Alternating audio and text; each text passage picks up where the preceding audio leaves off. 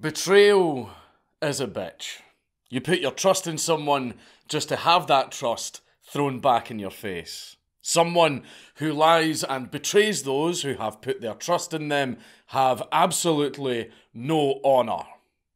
And there are few cultures more obsessed with honour than the samurai culture of ancient Japan.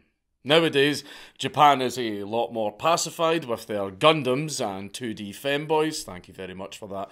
But back in the day, these were some of the nastiest bastards you could come across. Atrocities committed in the name of the Emperor have quite a long history, from Nanking to Pearl Harbor.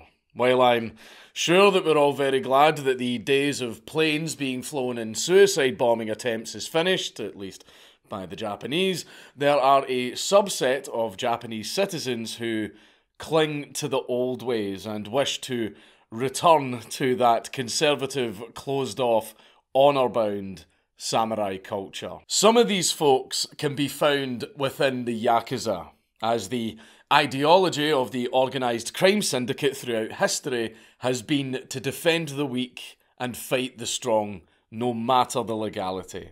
When a Yakuza breaks these codes and brings great dishonour to the ideals that they once espoused, some people could get irritated and seek revenge. Perhaps someone from the most unlikely of places. Mitsuyasu Maeno. Here are some words I never thought I would say together the Yakuza porn star kamikaze pilot.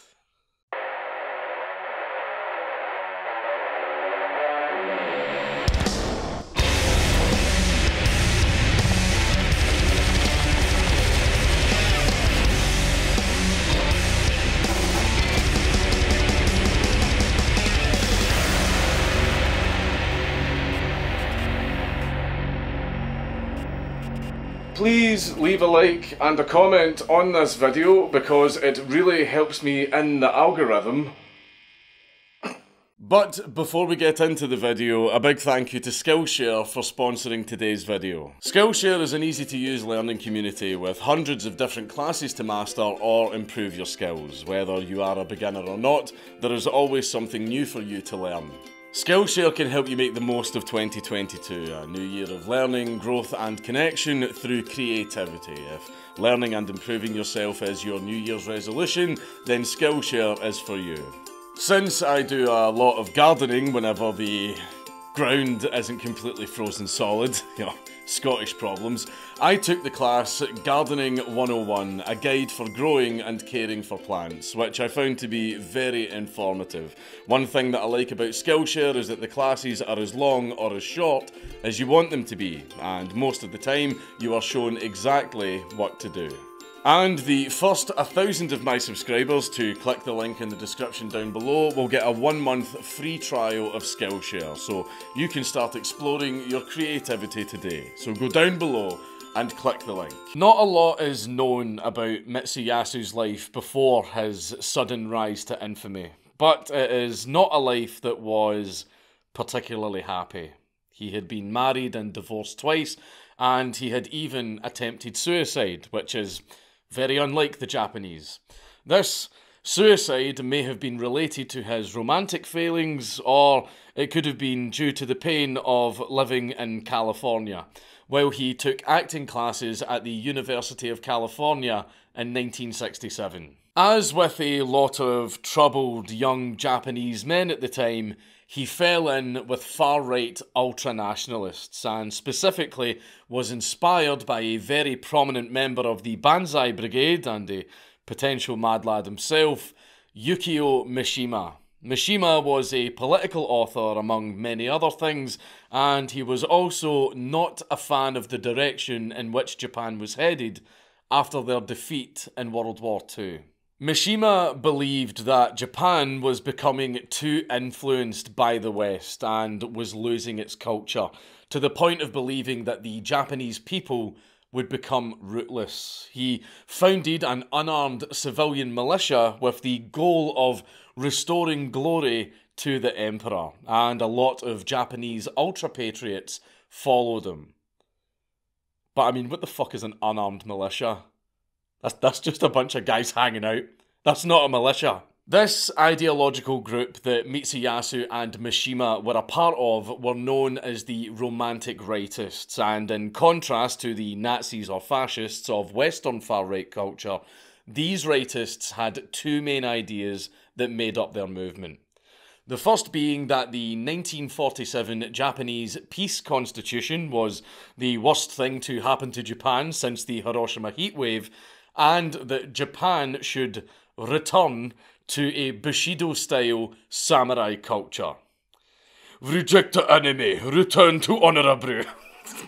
Yukio Mishima took his movement so far that on November 25th, 1970, his militia, which Mitsuyasu was not a part of, entered a military base in Tokyo and took the commandant there hostage. Then Mishima got up on the roof and gave a speech trying to encourage the Japanese self defense forces to rise up against the constitution of defeat and restore the land of the rising sun to what it once was. After his speech, Mishima repeated the infamous phrase that many a GI in the Pacific Theatre had heard before Tenno Heika Banzai.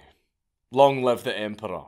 With that, proclamation, Mishima went back inside and did what any samurai fighting a losing battle would do. Committed seppuku, a samurai method of ritual self disembowelment designed to be the most painful way to kill yourself in order to restore your honour. Mishima was a man of culture, but he wasn't an idiot. And after he disemboweled himself, he had his number two guy at the ready with a sword to cut off his head so that he would be spared the pain of bleeding out. However, Mishima's number two guy apparently hadn't studied the blade enough because he tried three times to cut off Mishima's head and failed, instead, just causing him a lot more pain. So another guy had to step in.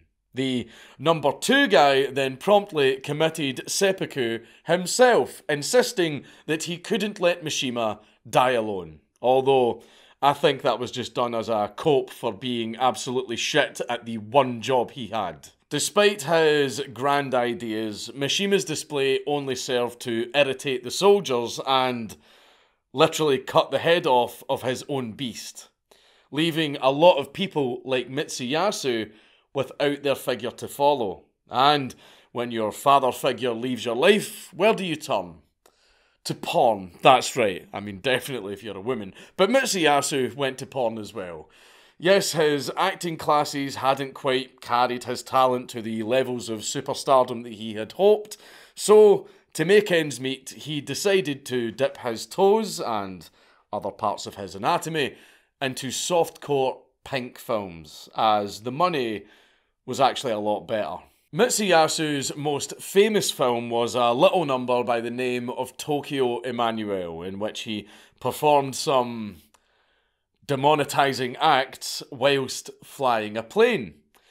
Turns out that Mitsuyasu was actually made for this role because he was an avid amateur pilot and he was registered to the Taiyo Flying Club, which meant that he really knew his way around her cockpit and also his own.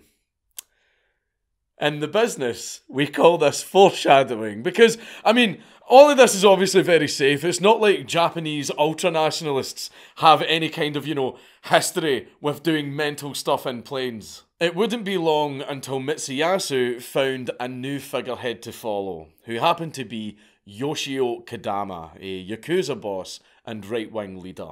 Kodama had made his fortune in World War II by smuggling drugs for the Japanese government using connections that he had in Korea, making him very wealthy. But as we all know, Japan lost that war, and in the war's aftermath, Kodama was arrested as a Class A war criminal. At this point in history, the US wasn't one to keep a good right wing influence in a foreign country down. Remember those days, better times. So they released Kodama in 1948 in order to let him use his fortune and contacts to aid in the fight against the growing tide of communism in East Asia. Kodama also used his Yakuza influence to suppress anything that he deemed a little bit too left of centre, such as breaking up a labour movement in the Hokutan coal mine. Mitsuyasu seemed to really take to this new leader, as did most of the romantic right, and Mitsuyasu attended a meeting in 1971 at the Okura Hotel where Kodama's attempt at a new national anthem was featured, and it was called The Song of Race. That's a little on the nose. But just like any other major cult of personality leader, it wouldn't be long until Kodama was caught up in something that would cause his followers to turn against him. And that was exactly what happened in 1976, with the break of the Lockheed bribery scandals. Since the 1950s, the Lockheed Aircraft Company had been bribing government officials and powerful people all over the world so they could get their airplanes sold over the competition. This included the replacement of anything from military jets to commercial airliners. Japan was not the only country in which this happened, but it was the one with the most ironic backlash. Kodama had accepted over $7 million to bribe Japanese officials into buying Lockheed aircrafts, and this act completely disillusioned Mitsuyasu. He thought that the scandal was very dishonourable and completely went against the samurai code that Kodama had been inspiring people to live their lives by. Mitsuyasu stewed in his wrath for a while, then had an idea. If these Japanese officials wanted planes, Oh, they were going to get planes. In March of 1976, Mitsuyasu conducted a few recon sweeps in the air of the Setagaya neighbourhood in Tokyo, where Kodama lived, using his amateur pilot skills and a plane that he acquired. You know, just getting the lay of the land. Nothing suspicious going on here.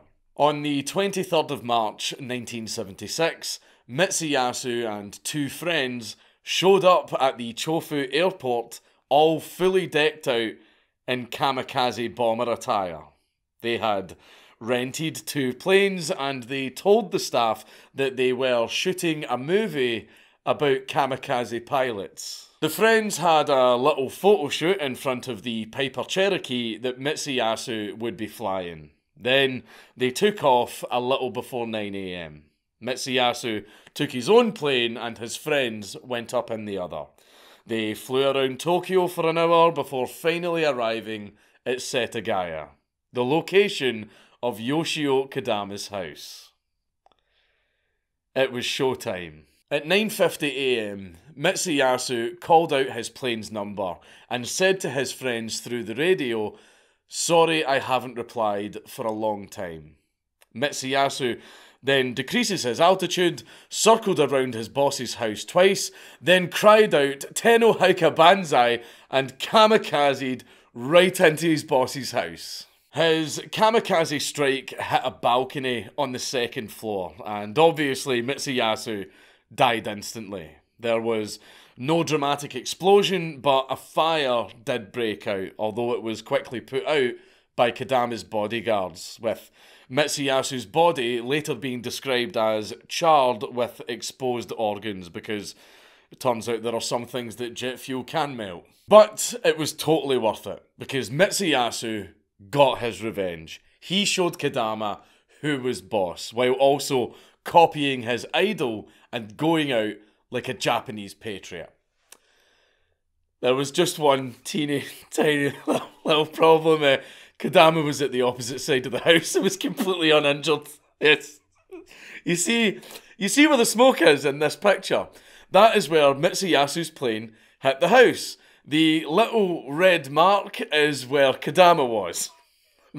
Mitsuyasu hit the wrong side of the fucking house. And to add insult to injury, Kodama was carried out of the house wrapped in a nice cozy blanket. So not only was he completely unharmed, but he was barely even disturbed. Mitsuyasu went to all that effort just to turn himself into a pile of steaming teppanyaki, and Kodama was just all cozy and snug.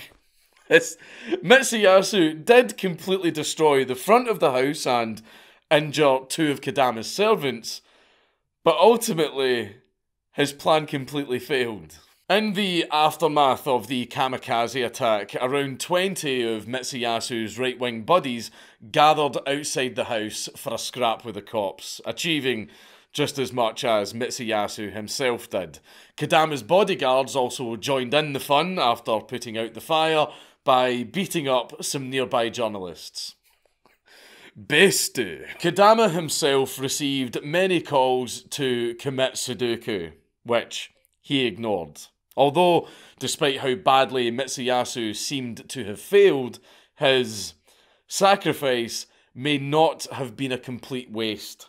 While Kodama wasn't willing to self oof, the protesters' calls for him to be indicted for his crimes were answered. Kodama was arrested and supposed to stand trial in 1977, but the trial was postponed because he faked an illness and refused to leave his home. And after a while of living a similar lifestyle to all of his detractors, on the 17th of January 1984, Kodama died of a stroke before his trial was completed at the ripe old age of 72. So, in the end, Mitsuyasu really did die for nothing. However, however, Kodama himself was apparently impressed by Mitsuyasu's bravado. So, you know, there's there's that. Sadly, that bravado didn't go down well with Mitsuyasu's own group, who disavowed him because he was motivated by selfishness instead of actually wanting to serve his country. But at least he died like his idol, as an egotistical show off. However, the Japan Self Defense Forces did commend him on the execution of his attack, saying, and I quote, very skillful, I give him the highest marks on that score. Mitsuyasu may not have gotten the justice that he sought, but at least he got an S for effort. Ultimately, there's there's no lesson or message or theme to be derived from this story. I just I just think that the premise itself is wild enough to make it into Mad Lads. An ultra nationalist Bushido porn star carrying out an aerial kamikaze attack on his Yakuza boss's house because he bribed people into buying planes. You ju- who who could make that up? Who could make that up? The Yakuza writers could probably make that up, and I am amazed that they haven't used this story yet. But at least Mitsuyasu got to make one last porno called Twink Explodes in Boss's Face. It's Count Dankula on YouTube! Everybody subscribe!